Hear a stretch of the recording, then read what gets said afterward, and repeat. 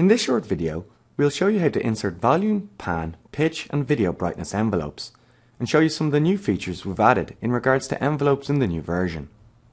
To add a volume or pan envelope to a track, you can simply click on the volume and pan envelope icons in the track properties. You can also introduce volume and pan envelopes by right-clicking anywhere on the track within the mixing window and selecting View Envelopes in the drop-down menu. Here I'll select Volume. I'll go to another track and select the pan envelope icon in the track properties. Once added, you'll notice that the volume envelope is denoted by a red line and the pan envelope by a blue line. To manipulate the envelopes, you need to insert nodes. This can be done two ways. Firstly, you can move your mouse over the envelope so the cursor becomes the finger pointer and simply double click. You'll notice the node is inserted. Or else right click on the envelope and select Insert Node. Again, the node is inserted. Let's insert a few more nodes on each envelope. Once the nodes are inserted, you can manipulate the envelopes by clicking on the nodes while holding down the left mouse button and dragging them to new positions.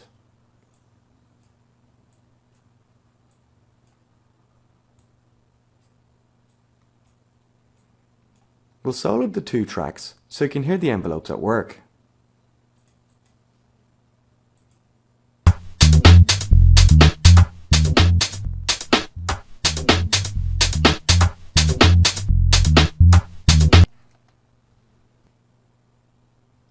I'll now show you some of the new features we've introduced. If you'd like to alter the shape or slope of the envelope between two nodes, right-click on the line and select a shape type. It is currently defaulted to linear.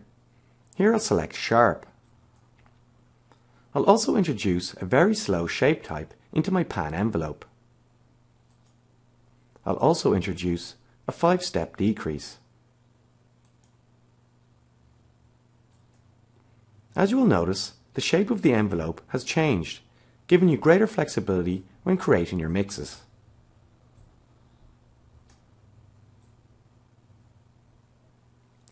Another new feature we've added is the ability for envelopes to move with tracks or segments once a node has been placed on them.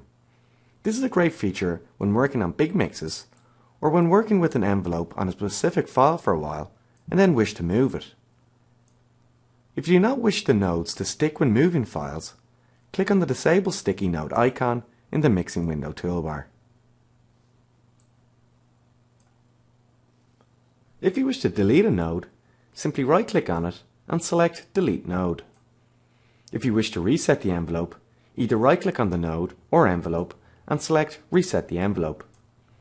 You can also hide the envelope by right-clicking on a node or the envelope and selecting Hide the envelope.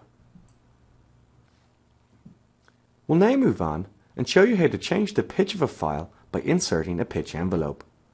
Right-click on the file where you'd like to change the pitch and select View Envelopes from the drop-down menu and select Pitch Envelope.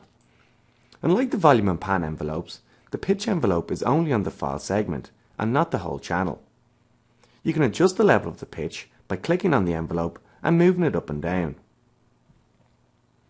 You can also insert nodes and manipulate the envelope the same as volume and pan.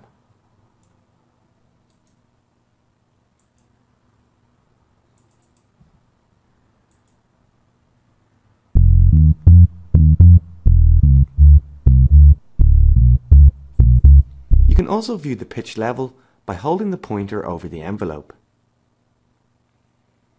To reset the pitch, right-click on it and select Reset the envelope. To hide the pitch envelope so it is effectively turned off, right-click on it and select Hide the envelope.